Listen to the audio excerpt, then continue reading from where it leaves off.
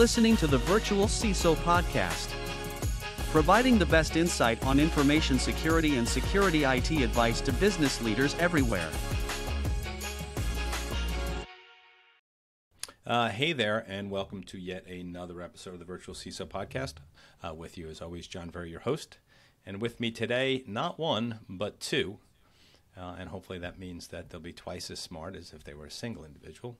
Uh, Mr. Ryan Mackie and Mr. Danny Manimbo, both uh, multiple time guests on the podcast prior. Hey, guys.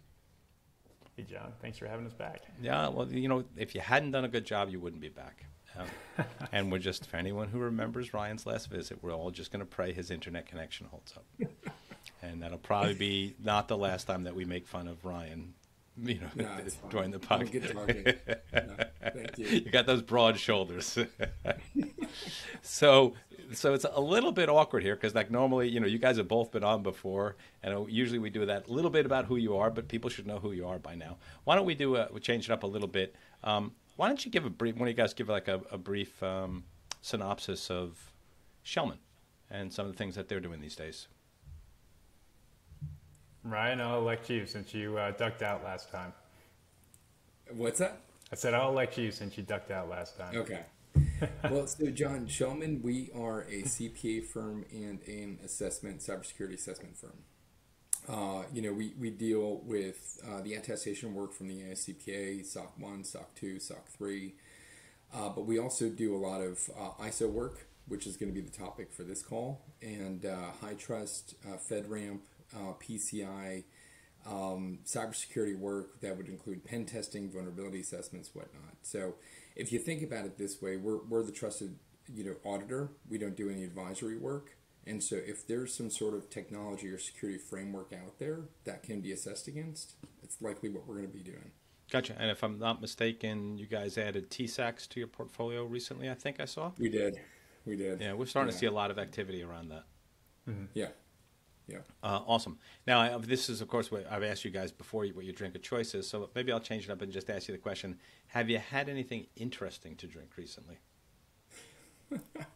oh.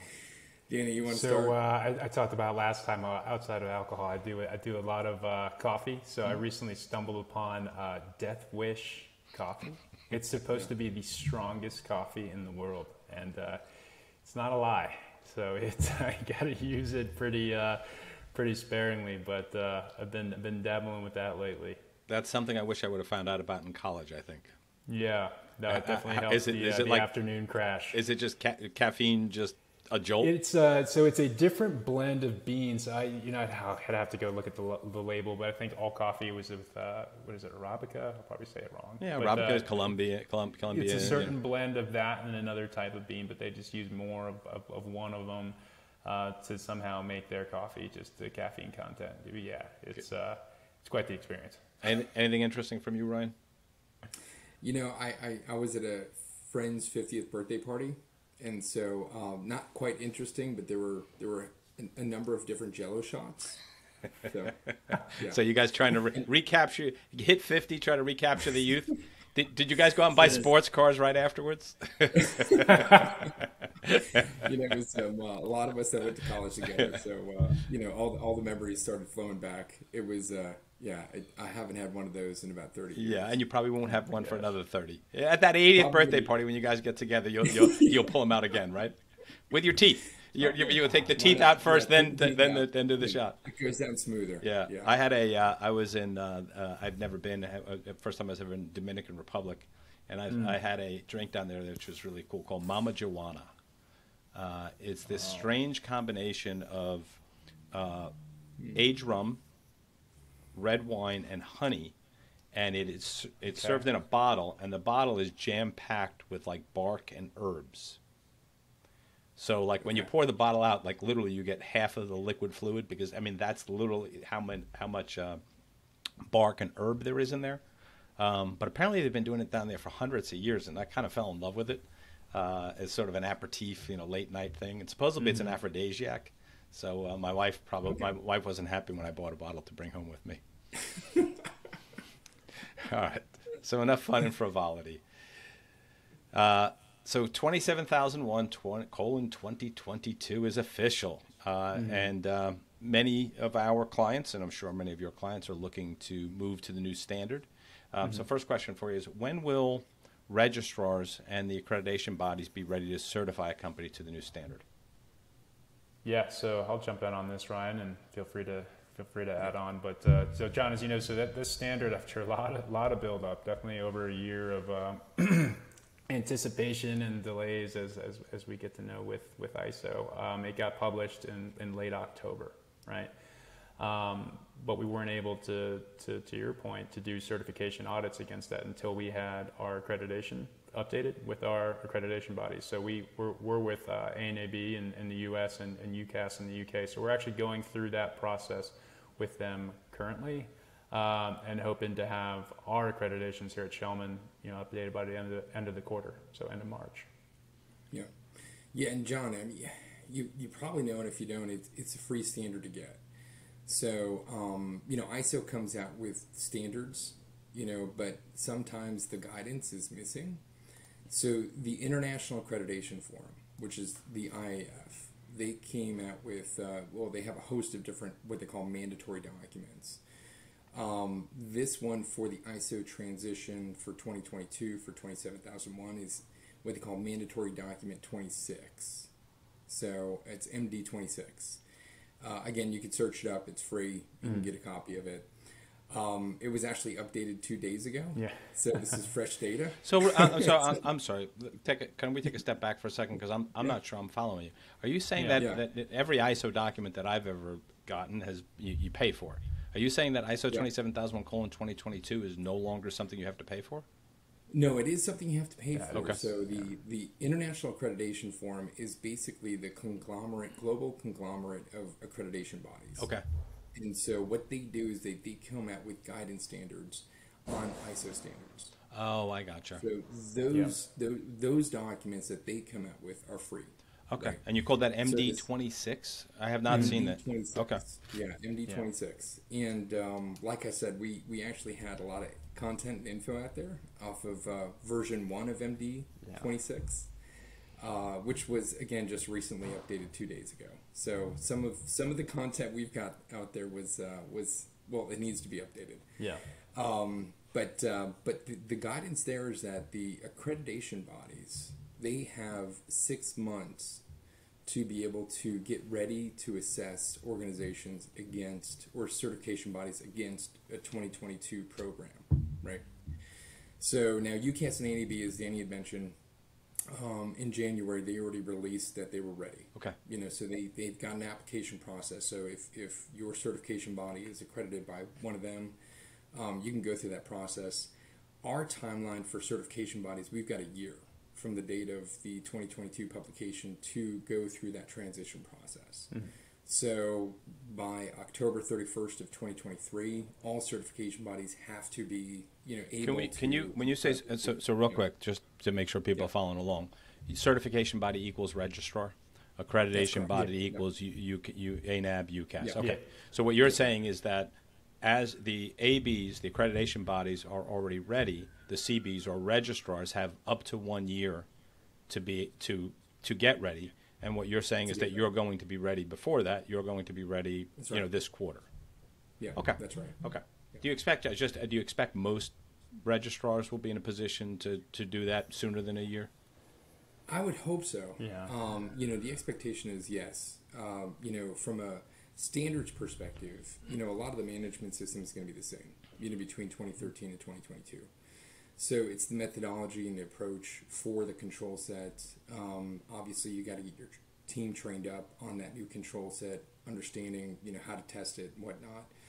Um, you know, so there, there are activities that all certification bodies have to make sure that they can demonstrate as part of that application process. But um, you know, given that there's a lot of organizations out there that are certified and they want to demonstrate that they are certified against the 2022 version, um, most certification bodies would be wise to start this as soon as possible. Yeah, I gotcha. All right, so let's talk about. So most of the people that are listening are not part of a certification body or registrar. They're the, they're the people that you work with, like us.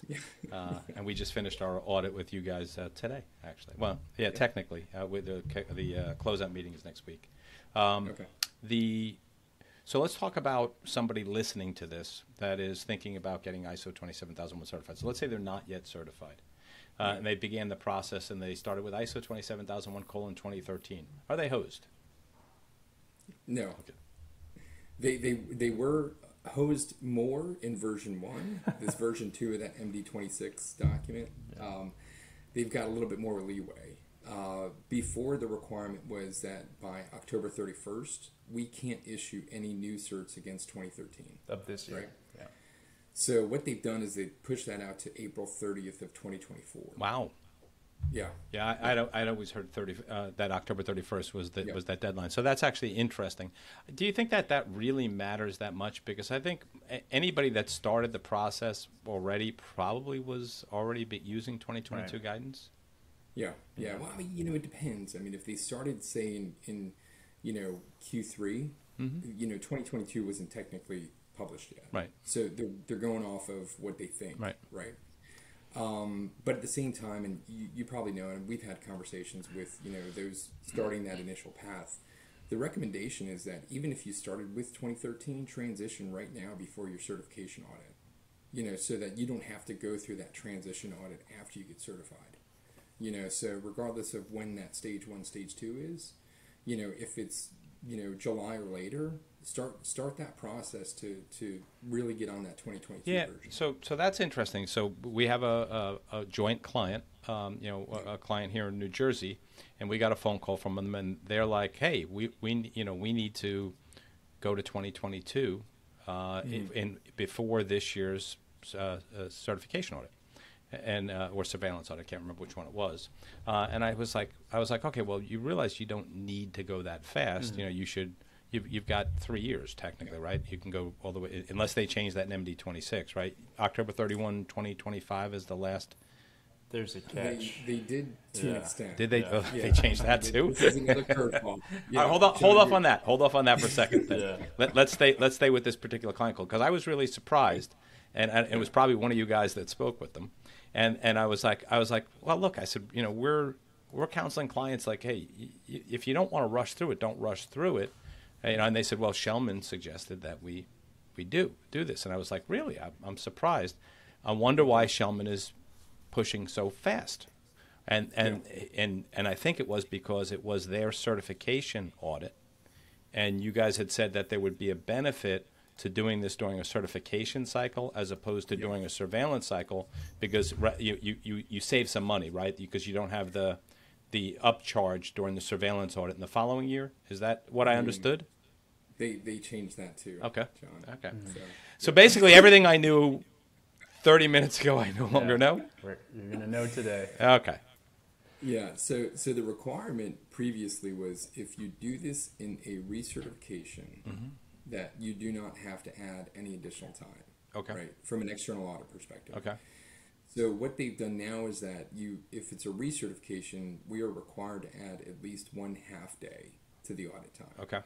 If it's during a surveillance, we have to add one full day, whereas before that was one half day. Okay. So the, the, But that's a, that's a relatively small savings, right? it. I mean, uh, you know, I I don't know exactly what your rate is, but it's probably in the three thousand, thirty five hundred, four thousand dollar price range, right? So you're only talking about a, th- a couple thousand dollars worth of difference. Yeah. Okay. Yeah, I mean, you know, it's it's not significant, you know, with regards to the amount of time that we have to add and, and any you know kind of associated cost. Um, what we've been saying, and, and so it, hopefully the communication's not getting lost in translation. Um, you know, we've been encouraging every organization to, to target the transition in 2024. Okay. You know, in, unless they've gotten a head start. Okay. And reason being, and, and I think you probably know, is that you know, some of the updates are so tied to those annual cadence activities, the risk assessment, you know, the internal audit, you know, uh, making sure you go through and update your SOA. You don't want to rush that. And you don't want to have the standard update, you know, really drive what your cadence is. So if organizations, you know, maybe if you Q1, they've already done that risk assessment, they've planned it, you know, and it's based on the 2013 version, you know, wait until 2024 and then do that transition then. What do you, uh, Danny? A question for you. Like, do you think that there is a marketing value to moving to 2020, you know, to 2022 in terms Yeah. of, you know, c- communication with your clients? Well, I think everybody's known ISO 27001 2013 for so long. I mean, it's been 10 years since it got published, right? But I do think that there is going to start to um, be a lot of chatter in the market space. You know, this thing got published in October. It's been what four four months or so. So I think there's going to be a lot of questions that start to be getting asked um, around, hey, you know, whether it's business partner, a supplier, a prospect, a current customer. What are your plans for transitioning? So I think from a marketing perspective, um, to demonstrate that you are on the latest version of an information security standard, you know, that historically was was 10 plus years old is is certainly a good thing, right? It demonstrates that you're keeping up with technology and times and trends and, and whatnot. So, um, to, to Ryan's point, that's why we're suggesting, hey, don't wait till the last minute. Um, Yeah. You know, there's there's certainly benefit to be had to uh, transitioning to the latest and greatest version of any of any information security standard. Yeah, so we're ISO certified, as you, as you guys know, and we just went through our uh, Mhm. recertification audit uh, this Okay. past week. You know, unfortunately, with 2024, you guys not no one being ready, right, to issue, you know, against 2022, we couldn't do the transition this year. Um, So our thought process is we're going to do the transition next year. Uh, and do it as soon as possible, you know, because obviously we look at it as being a marketing advantage. Sure. Also, like it teaches us as as you know, so that when we're helping our clients go through the transition, we can say, hey, we've been through it. Here's what it took. Here, you know, here here's here were the here were the gotchas, if you will, right, as kind of going through the process Yeah. as well. Um, so, what are the, some of the other things that would, um, you know, influence your thought process on on going through this? Um, like I said, we've got this idea of certification versus surveillance audit. Do you think that that, that is something that you would do it? Um, other standards and scope. What, what are some of the things that you think would would would drive that conversation that you're having with a client is to say, hey, should we Yeah. do this now or should we wait a little, you know, to the following year? Yeah, Ryan, I'll, I can jump in on this one. Just uh, based on the, the new updates that came with this MD26 document, and we've got a blog that, that we can post that you can uh, you can share with the show notes, John. But um, the one thing that they did was originally, to Ryan's point, they said anybody new. So if you're thinking about getting certified, you know you would have to be basically to begin your certification audit no later than Halloween of this year, October 31st, right? So we talked about how that has subsequently been pushed back to April 30th of 2024. So they said not only do you get an additional six months, so you have 18 months if you're new, but if it's a recertification, you can start. You can't start any later than that same 18 month date. So if you're in a Oh. recertification year this year or next year, there's basically you wouldn't be able to start. They use the word begin by, um, or begin by, begin no later than they say, um, April 30th of next year. So if you're recertification for next year and you're, you know, in Q1 or before 430, you, I guess you have that option. But if you're at any point later than that, May 1st forward, your, your, your hand is, is essentially forced by this new MD, MD26. Um, But that's kind of weird. It, it, it kind of it it disadvantages someone who happens to be in year two of their cycle as opposed to year three. That's right. So if you think about it in your case, you know, you have 2024, you have 2020. You can, you basically um, Could go to the limit. Have, have, Yeah, we could- we could push it to the limit. Whereas some folks, they get cut. You know what? What is that? Bad at math on the spot. 18 months short, really, because it's a 36 month transition on the on the surface. But there's going to be very few firms that have the ability to take advantage of that whole thing, just depending on where they Where are they are in their their cadence and their, in their cycle. So. Yeah. What what about the what about you know a lot of our clients are tied to you know uh, 27017, 18, Yeah. 27701 is an important one. CSA stars. Talk about like how that you know might influence this and, and when we can expect to see those fully aligned. Yeah, this is where it gets fun. Um, so a lot of those standards. You have they- you have a strange description of fun, Danny. I mean, Yeah. your fun sound your fun sounds like Ryan's party.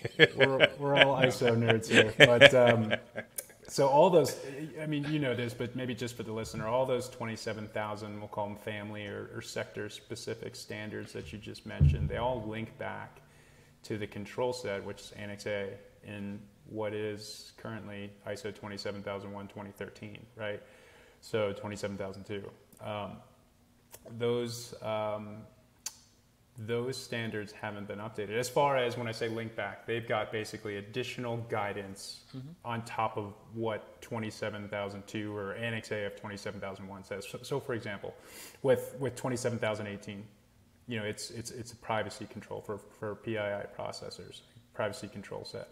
So they may say, okay, okay, for control, the security awareness training control in, in 27001, 2013, 722. Well, in your security awareness training, you know, consider having topics that cover processing of PII or, you know, privacy considerations.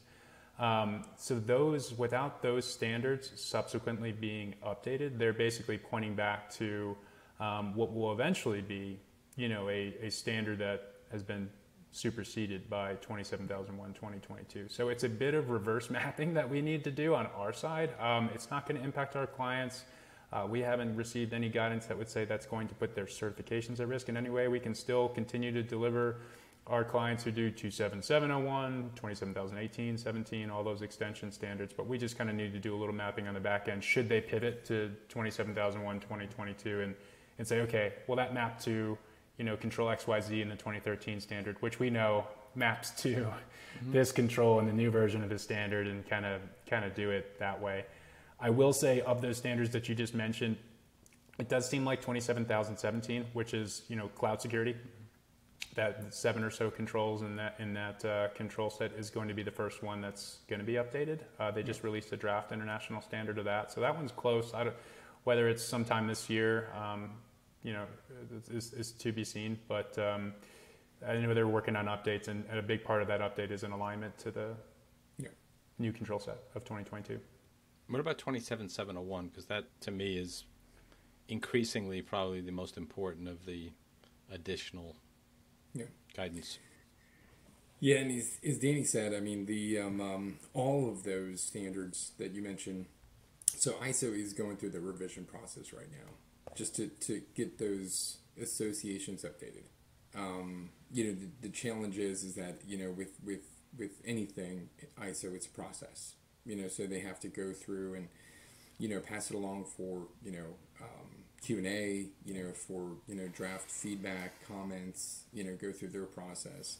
So it moves a little slow, but everything is in the process of getting updated. Mm-hmm. It's just in that interim, there's going to be a gap, as Danny had mentioned, you know, between... Yep you know, probably well now until potentially October of this year, maybe later, you mm-hmm. know, before some of those standards get published.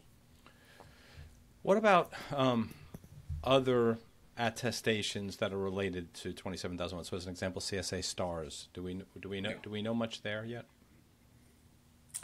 Well, so for the CCM, mm-hmm. which is basically the cloud control matrix, you know, which all organizations have to um, uh, review for level one, level two, or you know, eventually level three as well. Um, you know, they, they haven't updated that mapping yet. Uh, so, but but again, because everything is already cross mapped. So, you, into, so you're cross mapping your cross map yeah. in the same way you were talking about with the other ones. Okay, and yeah. and then uh, would the same hold true like uh, what about something like HITRUST, or what about a, you know, or would there be you know, SOC 2 isn't directly mapped to it, but I mean, if someone has a SOC 2 and an ISO 27 uh, 27001, any would would there be any consideration there of of this? There would be. We're working through that. As a matter of fact, the AICPA has a really great mapping mm-hmm. to the 2013 version mm-hmm. of 27001 in, in the SOC 2 criteria.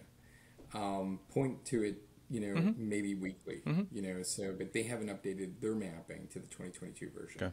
So we're kind of in this zone of just, you know, having to manually, as Danny had mentioned, cross map, you know, between standards. Um, again, as you know, with the 2022 version, you know, all controls from the 2013 version were, mm-hmm. you know, basically covered, you know, whether they were combined one for one. I mean, the implementation guidance was updated. So there's those 11 net new controls that somehow just can't really find that mapping. So we're going to have to manually make sure that we can draw them back to either SOC 2, HITRUST, CCM, whatever it may be. Gotcha. Yeah, and one other thing that, that I think would also potentially influence is if you're on a GRC platform and they haven't yet integrated 2022 yeah. into the GRC platform, uh, you know, that might negatively impact your ability to move uh, when you're ready to move, right? Yeah. Um, so we've kind of stayed focused on the technical and tactical side of the migration. What about moving for the real reason we we're theoretically on ISO anyway, right? I think a lot of people here are really for the attestation, right, being provably secure and compliant. But realistically, ISO is about managing risk effectively. Um, thoughts on uh, people moving to 2022 because it's a better risk management framework? And, and, and, and if so, if you agree with that tenet, uh, how do you think it's a better risk management framework? What are some of the benefits that people should be thinking about? I think one of the things we might have talked about this a little bit on our initial conversation, but one of the things that's interesting, you know, is to Ryan's point, the actual framework, um, especially the one that has to deal with the risk assessment, um, didn't really change as far as what's contained within the, the management system framework, clauses four through ten for for risk assessment. Um, but one of the things introduced with 27002, when that got released last February, um, were some tools and terminology, if you want to call it, to assist with the risk assessment process. All the hashtags. Uh, so, for example, controls have these things called attributes. Um, uh, so we just wanted to be we just wanted to be cool in security and, and have hashtags. I think exactly. I, I would have loved to exactly. sat on that committee because I would I would have just been giggling the whole time. Oh gosh, but uh, ISO has attempted being cool. So they're they're um, they, that, that did, whole did they was, did they do Jello shots during the during the? Oh my gosh! no, it was virtual. It was virtual. No, Jello, no virtual. No virtual Jello shots. Sorry, Danny. I couldn't good. resist. No, you're good. I mean, like, like I said, the whole, uh, as much as we can lighten up an hour long conversation about ISO, I'm all for it. But uh, yeah. the whole intent there was to facilitate the risk assessment process, making sure your bases are covered. Hey, you know, it's got now, you know, uh, labels, you want to call them, or attributes related to controls. It's corrective, it's preventative, it's um, detective. So it allows you to basically, or it's associated with CIRA, confidentiality, integrity, or availability, and, and, a couple other categories that they've they put out there. And they also leave it open to, to organizations to customize for their own benefit. Uh, for identifying control owners and other purposes, but hey, you know now it allows you to assess your whole control inventory and say, hey, look, do I only have you know detective controls in this area, or do I have uh, not enough controls around availability? So I think it provides a little bit more visibility and less guessing, maybe, uh, especially for those who are more uh, new uh, to, if you want to call it, to uh, to these risk management frameworks, how to use them, where to get started. I mean, it's a little um, uh, intimidating, maybe, to to have such a framework with you know what was 114 controls, now it's 93. It's still a good amount of controls for which to uh, to to select from. So it kind of helps you narrow down those choices a little bit to hopefully more effectively manage risk within your org. Do you guys do you guys think that uh, that'll be something that your auditors will be looking at? Is looking at the risk assessment and saying, you know, so as an example, if they notice that in a particular, let's say that we're migrating, you know, new systems systems to the cloud, you know, did we consider not only confidentiality risk, but do we consider integrity and availability in our on our risk assessment process? And and then when we did come up with our uh, risk mitigation plans, right? Did we, like you said, did we cover corrective, detective, preventative, et cetera? Do, do you guys see that that'll be part of your audit process, that your, you know, your auditors will be specifically looking for that?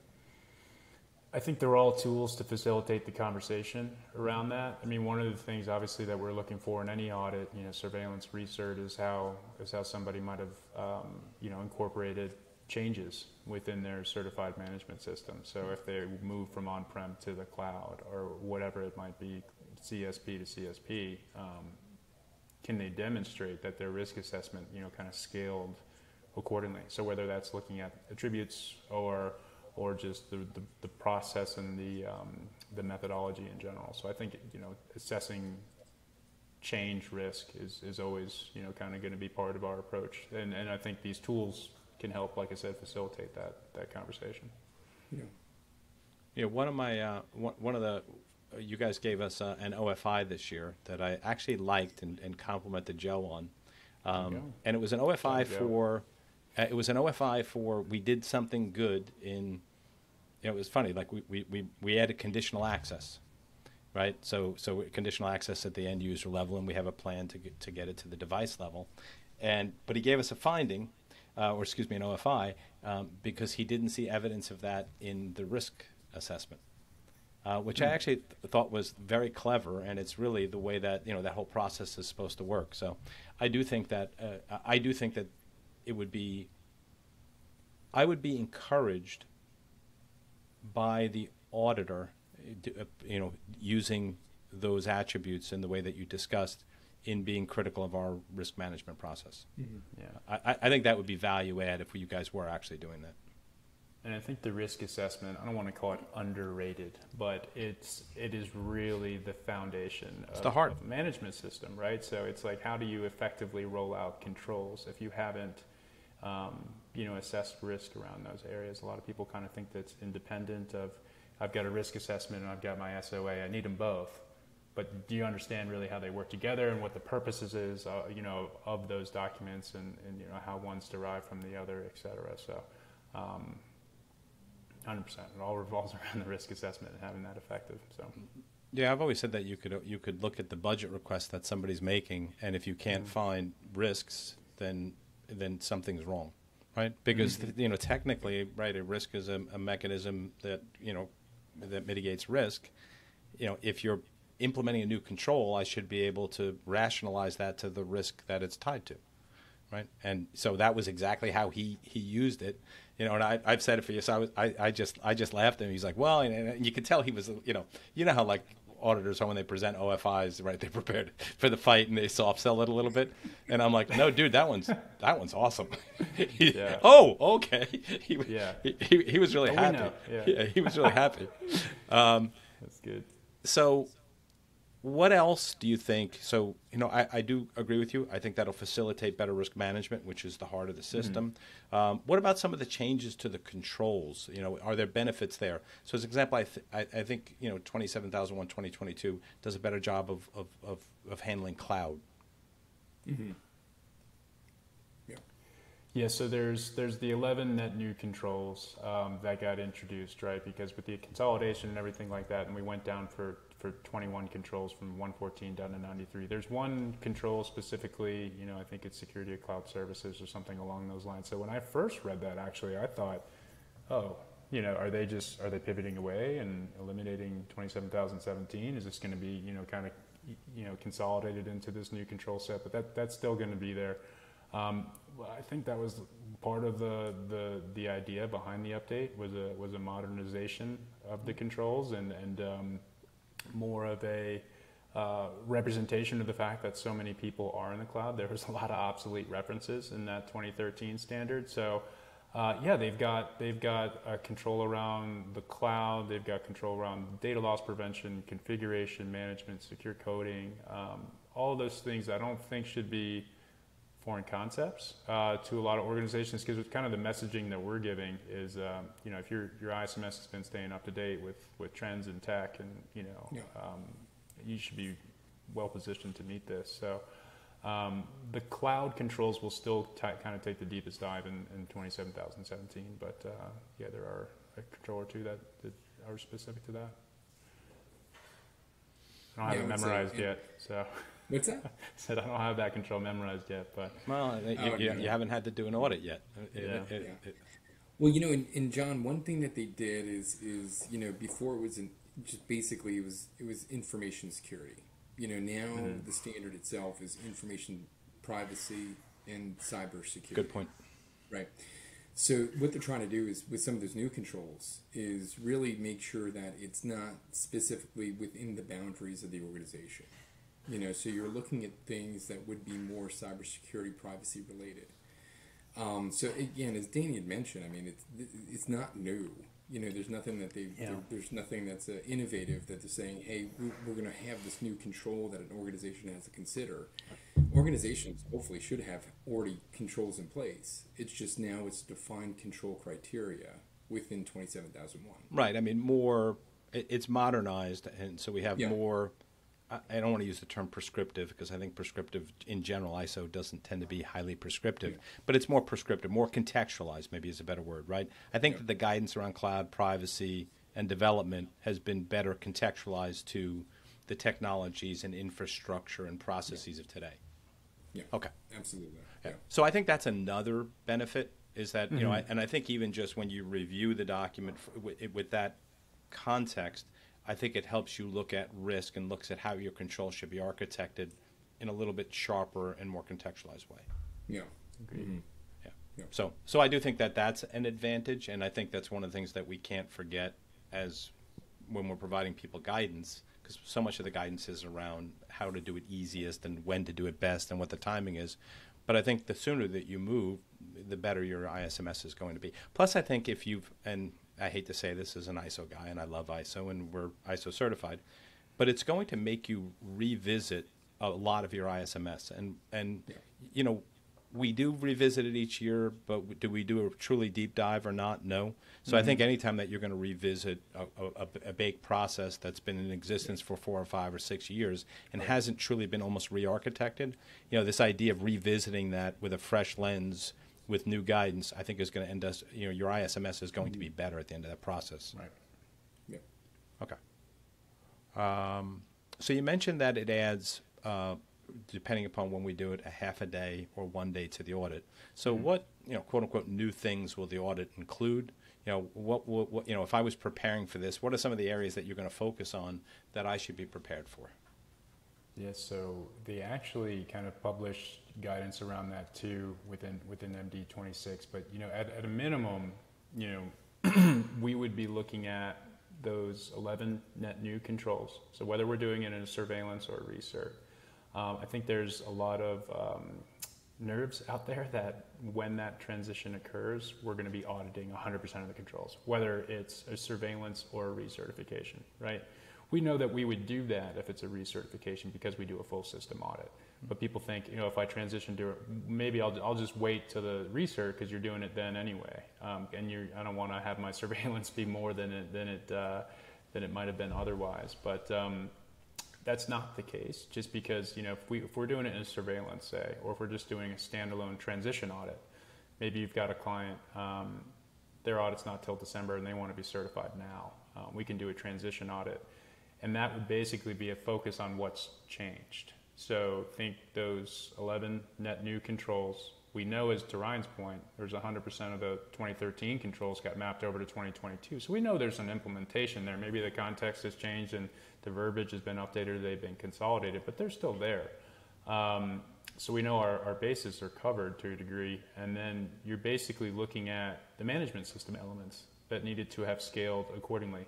While the clauses didn't materially change, um, we know that you're going to have to update your risk assessment for the reasons that we just talked about. We know as a result, the risk treatment's going to change your statement of applicability. Did your internal audit cover these things? So um, those are kind of the main elements of, of what we look at beyond, you know, kind of what we do for an existing surveillance.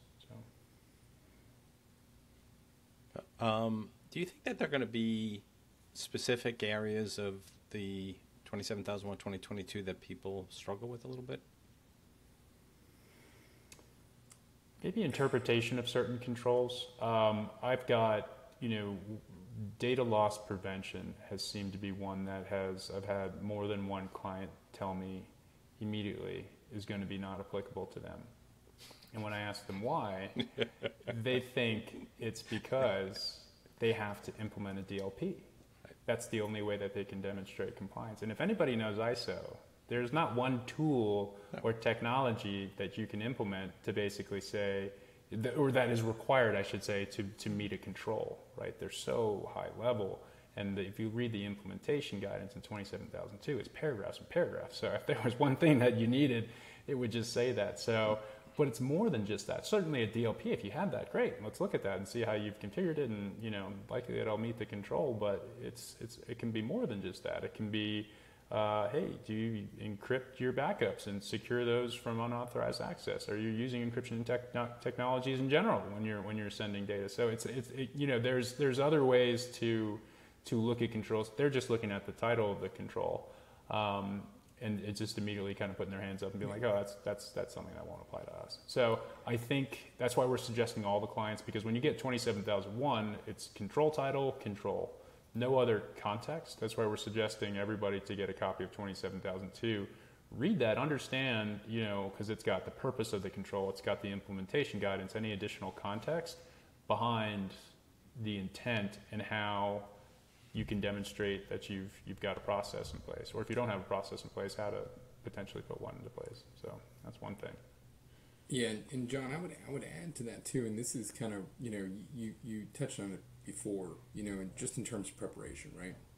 That that IAF MD twenty six document, um, it does require the certification body or the registrar to assess the organization's gap assessment to the 2022 version, Yeah. As well as what their transition plan is. So, So that's a, that's actually a requirement. That's a requirement that we have to do. Wow. So if we have to do it, then So, if, so, so if somebody made the transition but didn't conduct a gap assessment and doesn't have evidence of that, that's going to create a little bit of a challenge. yeah, That's pretty cool. I mean, I'm, I'm Yeah. glad you mentioned that. Um, I mean, I think it's the most logical way to do it anyway. But Mm-hmm. but you know, but creating a formal gap assessment is really interesting. Anything anything else that that you think are going to be some gotchas? Well, I mean, it, they do say that we have to assess the new audit program. Yeah. You know, to make sure that that audit program take into consideration, you know, basically going forward, addressing those controls from the 2022 Yeah. version.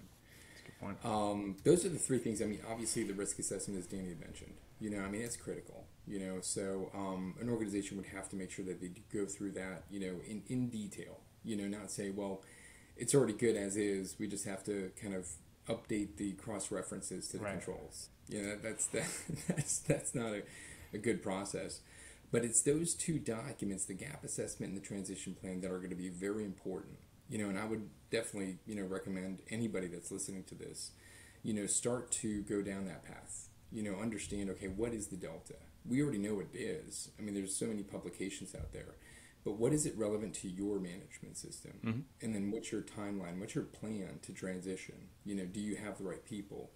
You know, have you gone through the right steps? Question question for you on that transition plan. So, do you do you kind of perceive that as being a, a formal plan, or so like typically when an org does a gap assessment, you do what's called a gap remediation plan, gap treatment plan, or whatever you want to call it, right? Yeah. And imagine, I think you you probably see this quite frequently.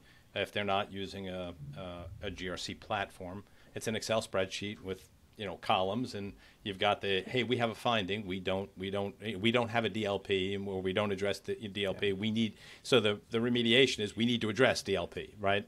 And here's how we're going to do it. Do you consider that a transition plan or are you going to look literally for something that looks more like a project plan which is a list of things that you know with people being assigned to it and dates and you know thoughts You know, I mean, I hate to say it's it's going to vary. so it's going to be open to auditor interpretation okay.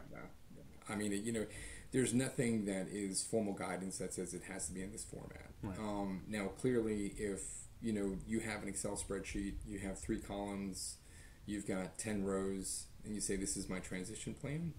You know, as we get into that audit, you know, we're going to be a little bit more. Um, we're gonna we're gonna turn over some stones. You know what I mean? Yeah, a bad transition plan is going to going to create OFIs and nonconformities Yeah. in and of itself, Yeah. right? So maybe you don't have one on the transition. Uh, I tech technically, that, that's a really interesting question. Could you have a nonconformity on the lack of a transition plan, or would the nonconformities just be on the? You you could technically Because technically. I mean, the requirements on us. Yeah, in- but it, but there's no but but on my side there isn't a transition plan requirement. Like you know what I mean? Like you know if you think about it, most of the time when you cite an NC, you cite an NC to a clause, an ISMS clause, Yeah. or you cite it to a, an Annex A control. You know, Yeah. you wouldn't you know what would you cite it to there? Uh, Yeah, and I think it's you know if if you look at the new Mm-hmm.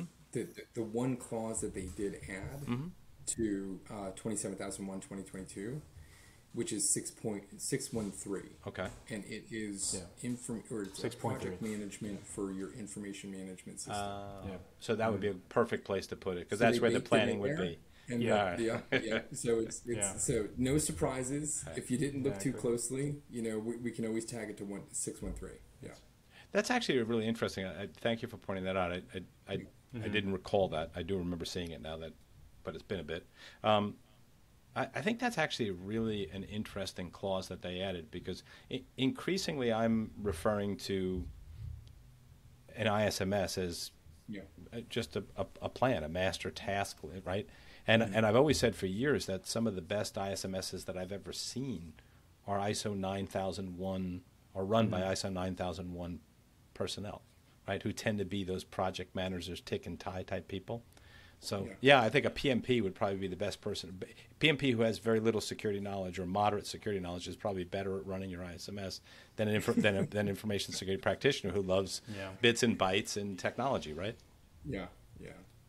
And that planning for changes is, is a component of, of 9001. It's a component of 22301, et cetera. So I think they're also trying to make them more consistent, those management system frameworks that we all know. Yeah, that's actually an interesting question for you. Um, did they make any changes? You know, like so. I know in 2016, maybe it was, they tried to normalize the management systems. So 9001 and and, Yeah. and um, 27001 were aligned. Did they make any changes that would necessitate changes that necessitate changes in other management systems, whether it be quality, whether it be you know continuity, etc. Yeah.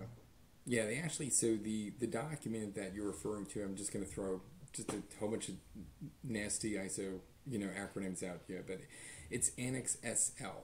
Okay. And Annex SL is the framework, it's the template for any management system standard. Oh, I didn't know Right. that. Annex SL. And so, yeah, Annex SL. Now, they, I think the most recent one they published captured everything, you know, because it was, I think it was 2015. So that 20, that 9001 2015 already mm-hmm. had that format. Okay. And then thereafter, the 22301, which was 2019, 20,000-1, which is 2018, and now this mm-hmm. one, you know, this, this 27,001, 2022, uses that same template. So they, you know, they, they are, as, as Danny mentioned, basically kind of harmonizing exactly how an, a management system is going to be demonstrated, you know, in, in, in a documentation. Yeah. Yeah. Um, we beat this up pretty good. Anything we miss? Just get that, get that, that MD26 document. Yeah. I will. I. I. It's on my. You saw me taking notes with my pen and paper, because if I type, it makes a racket. So now, now I just have to not lose the, the piece of paper, which I'm. I'm. Yeah. I'm 50-50, probably. Um, so so Danny was kind enough to point out. He said, "Hey, should you change the amazing or horrible CISO question? Because we've both answered that already." And so I thought about it a little bit, and I said, "I'm going to, but I'm not going to tell them ahead of time." Yeah, because you I want to a test. I want to test to see who can think quickest on their feet. So I'm going to make it a Let's it. relatively easy one.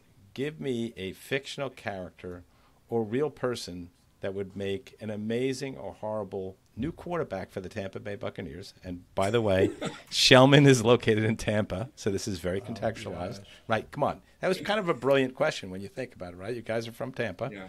you know, and why? Shane Falco from the replacements. That's Keanu Reeves. He's the first fictional quarterback that came to my mind. He was great. He was he was a team player. People rallied around him. No ego. Kind of came in very unassuming. So he'd be he'd be definitely different flavor from Brady. But uh, Yeah. uh, we'll see if That was, up that for was the task. that was pretty damn good, Danny. All right, so Ryan, give me a real world quarterback that you're hoping comes to Tampa Bay. I um, oh gosh, you're gonna put me on the spot now. I was thinking of of um, uh, yeah, I think Tom Brady should come back. I don't think he's left yet. Uh, Gisele Gisele d- disagrees. oh Just God, give him give him a month. You know, he's gonna feel that uh, itch. You know, a little PTO. he's gonna you know practice squad. Next thing you know, Yeah. so I thought you were going to go with Jimmy G. I thought you were going to go with Jimmy G. He's- I, I mean, I think that'd be a great fit. I do. Yeah. I really do think that'd be a great fit. I've seen a lot of names out there and, and kind of concerning, you know, some of them. Oh, some of- Um, yeah. I think it's just it's, it's a band aid and it's going to just create another problem. Yeah. But um, uh, yeah. Well, listen, uh, as a as a a long suffering fan of a team that has not had a quarterback in 50 years, the New York Jets. I'm hoping that you don't get anyone. I, I'm hoping you get someone good after I get somebody good. I think the last one was what Testaverde. Uh, oh, I really enjoyed those days. Oh yeah, I mean yeah, I mean you know Chad Pennington before he blew out his shoulder. Yeah. Kenny O'Brien mm-hmm. was a pretty solid quarterback. The problem with Kenny O'Brien was we took him before Dan Marino. Yeah. You know we mm. could have taken Dan Marino and we took Kenny O'Brien instead. It- it- yeah, it's just the, the pain of being a Jet fan.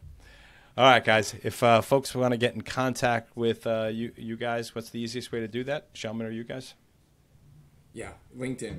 I mean, it's the easiest way. You know, just reach out to us. I mean, profiles are out there, the firms out there. You know, so happy to do that. Our website, website we've got a lot too, of yeah. content. That uh, blog, as Danny had mentioned. Um, you know, and we've got a um, um, you know a way to contact anybody on our team. You know, through our website. So Awesome. two great ways. Yeah. Awesome. Well, you know, here's the good news. It's 3:54 on a Friday. Uh, you can. For me and you, John. Oh, for Danny. oh, Danny. So Danny's. just getting started. Oh, Danny. Sorry. Well, listen. we- You know, Gonna as- pour some of that Death Wish coffee and as- see where the afternoon yeah, you're goes. you're gonna start on a Death Wish coffee. I'm gonna start on a bourbon. There you go. All right, guys. Jealous. Have a good John. one. All right. Thanks, John.